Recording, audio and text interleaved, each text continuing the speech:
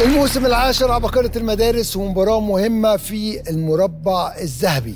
وهفكركم بالنتيجة. منارة مودرن القاهرة 20 السعدية ثانوية بالجيزة 120 وحصل عندنا تغيير واحد بس في السعدية بجاد عبد الرحيم رجع مكان أحمد أسامة. ودلوقتي مع الفقرة الرابعة فقرة تحت الضغط. تحت الضغط. عمر وبجاد بجاد وعمر. بجاد هتروح عند سليم هتسمع أغنية وترجع لنا تاني. اتفضل. اتفضل يا عمر. عمر كل سؤال هيفرق. خلي بالك شوية تركيز وهدوء والأسئلة مش صعبة. إن شاء الله. اتفقنا؟ تعال نطمن كده على بجاد تمام. تحت الضغط counter ما هو نظام الحكم في دولة بنجلاديش؟ جمهوري. صح. في أي طبقة جوية توجد طبقة الأوزون؟ آه ستراتوسفير. صح. ما هي عاصمة دولة أنجولا؟ لواندا. صح. كم عدد الأيام في تسعة أسابيع؟ 63 صح. ما هي اللغة الرسمية في دولة تشيك؟ ألماني. غلط. أديب مصري مؤلف رواية خالتي صفية والدير فمن هو؟ نجيب محفوظ. غلط. ما هو العدد الذري لعنصر البروم؟ 35 صح. فنان قام بدور فوزي في مسلسل أستاذ ورئيس قسم فمن هو؟ باص. ما هي الرياضة التي كان يحترفها البطل المصري أمير وجيه؟ ملاكمة. غلط. ما هي الدولة الأوروبية؟ اتفضل. كويس. برافو عليك. خمس إجابات صحيحة ب 25 نقطة. برافو عليك. سليم عايزين بجاد ينضم لينا. بجاد. بجاد عرفت عمر عمل إيه ولا لأ؟ عرفت. طبعا. ميدو قال لك. ميدو ما بيعرفش يسكت. جاهز؟ جاهز. تحت ضغط counter. ما هو نظام الحكم في دولة بنجلاديش؟ جمهوري. صح. في أي طبقة جوية توجد طبقة الأوزون؟ ستراتوسفير. صح. ما هي عاصمة دولة أنجولا؟ لواندا. صح. كم عدد الأيام في تسعة أسابيع؟ 49 غلط. ما هي اللغة الرسمية في دولة تشيك؟ تشيك pass أديب مصري مؤلف رواية خالتي صفية والدير. فمن هو؟ أسامة أنور عكاشة غلط. ما هو العدد الذري لعنصر البروم؟ خمسة. غلط. فنان قام بدور فوزي في مسلسل أستاذ ورئيس قسم. فمن هو؟ عادل إمام. صح. ما هي الرياضة التي كان يحترفها؟ البطل المصري أمير وجيه؟ pass ما هي الدولة الأوروبية التي حكمها؟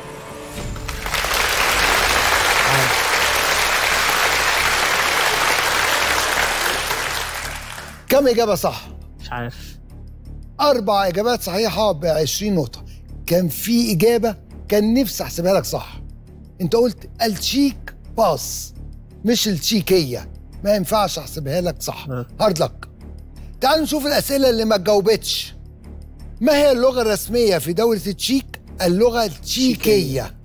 أديب مصري مؤلف رواية خالتي صفية والدير. بهاء طاهر. بهاء طاهر. طبعا بهاء طاهر. ما هي الرياضة التي كان يحترفها؟ سكواش. البطل المصري أمير وجيه. أمير وجيه. سكواش. طبعا أمير وجيه مش بس بطل مصري وكمان مدرب عالمي في رأيي. خرج أبطال مهمين جدا. أمير وجيه بطل في رياضة السكواش هي دي الأسئلة اللي ما جاوبتش 20 نقطة وأنت معاك 25 نقطة و10 نقط هدية. شكرا. كلنا نحيي بجاد وعمر عمر وبجاد. اتفضلوا. النتيجة اتغيرت. عمر كنتوا كام يا عمر؟ 20 20 وخمس إجابات صحيحة و10 نقط هدية. بقيتوا 55 بجد كنتوا كام؟ مش فاكر 120 مش فاكر إزاي. حد ينسى حاجة زي دي؟ 120 واربع إجابات صحيحة بقيتوا 140 الفقرة اللي جاية. لو طارت منكم المباراة اتحسمت.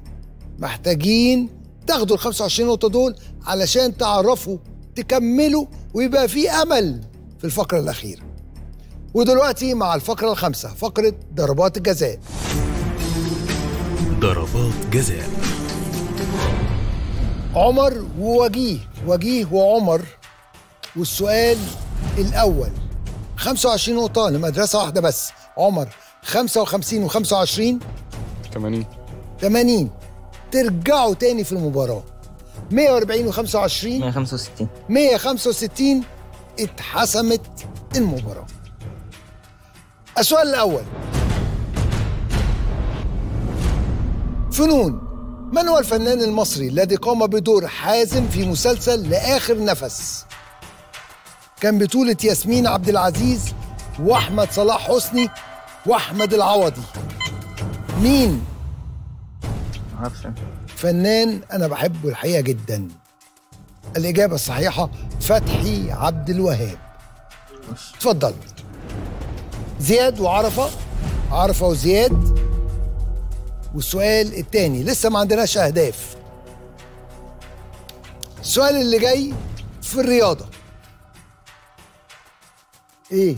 تحبش الرياضة ولا إيه؟ بجد؟ زملكاوي بقى. زملكاوي. ليه كده يا ميدو؟ طيب؟ يعني ملوش في الرياضة بعدين تقول لي زملكاوي. ثلاثة زملكاوية كلنا زملكاوية. والله فريق زملكاوي. كلكم زملكاوية ما شاء الله. ما عدا أنا.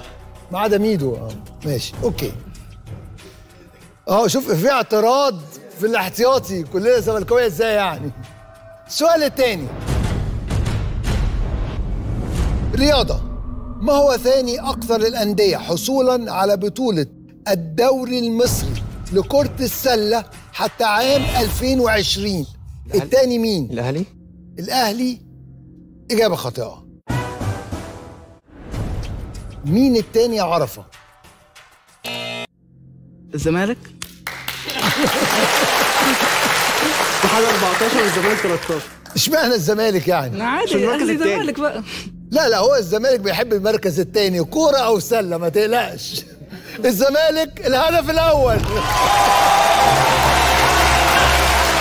الأول مين؟ الأول مين؟ الاتحاد السكندري. الاتحاد السكندري الأول والزمالك الثاني الاتحاد السكندري 14 مرة والزمالك 13 مرة. ونادي الجزيرة الثالث بتسع مرات وبعد كده الأهلي الرابع بخمس مرات. طيب كده في هدف بلا مقابل. رغد مشكلة. ليه؟ لو ميدو جاوب صح ميدو والمدرسة السعدية اتأهلوا للفاينل. خلاص. أملك الوحيد في إنك تتعدي. السؤال الثالث حل المسألة الآتية. 60 في 4 على 8 في 9 يساوي كام؟ إجابتك. 110 110 إجابة خاطئة.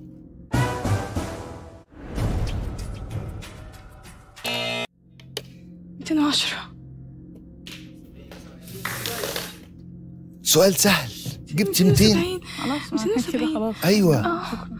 معلش. هارد لك السؤال ده كان سهل. بس انت متوترة وقلقانة لدرجة إن انت اتلخبطتي ما بين 210 و 270 الإجابة كانت عندك ولكن هارد لك إجابة خاطئة. الإجابة الصحيحة 270 شهد الكورة في ملعبك. محتاجة تتعادلي يا إما بجد هيرجع ب 25 نقطة حتى لو ما جاوبش. ويتأهل مع مدرسة السعدية للمباراة النهائية للمرة الثانية هنشوف. السؤال الرابع. جغرافيا. إلى أي قارة تتبع جزر أشمور وكارتير؟ آسيا. آسيا. إجابة خاطئة. هارد لك يا شهد في إجابة أمريكا الشماليه أمريكا الشمالية إجابة خاطئة جزر مرجانية ورملية في قارة استراليا برافو عليك في قارة استراليا hard luck اتفضلوا hard luck يا شهد و hard luck يا بجاد مع انك رجعت ب 25 نقطة النتيجة اتغيرت والمباراة اتحسمت ألف مبروك السعديه اتاهلتوا للمباراة النهائية.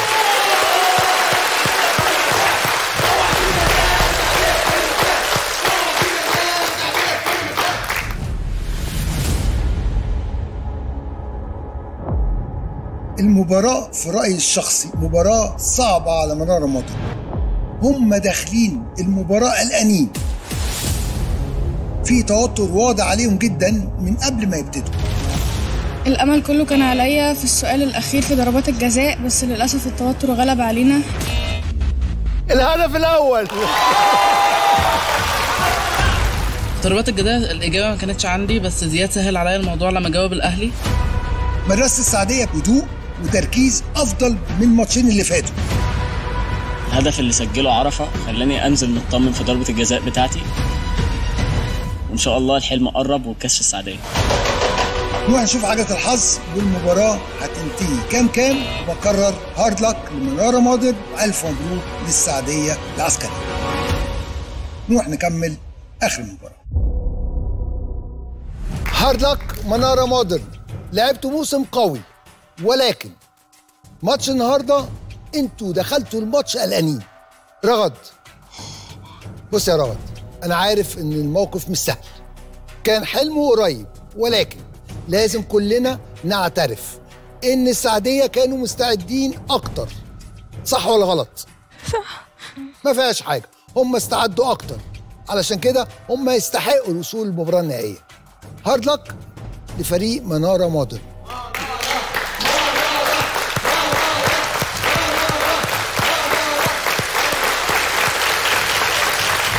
رغد ينفع أقول لك حاجة مهمة؟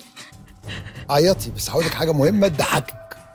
أو هتبسطك هتلعبي على لقب أفضل لاعب الموسم العاشر.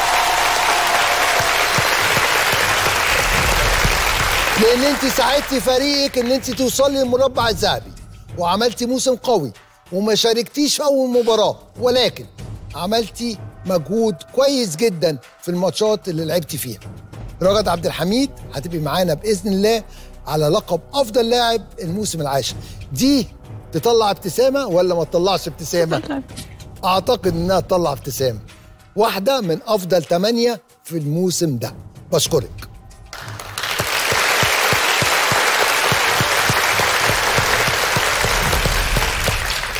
مدرسة السعدية دفعتوا على اللقب فعلا وهتوصلوا. خلاص؟ للحلم تاني مرة. حلم كاس العباقرة المركز الأول أو المركز التاني لأول مرة في تاريخ العباقرة مدرسة توصل للفاينل مرتين. الحمد لله. مش بس كده كمان في حاجة جميلة جدا.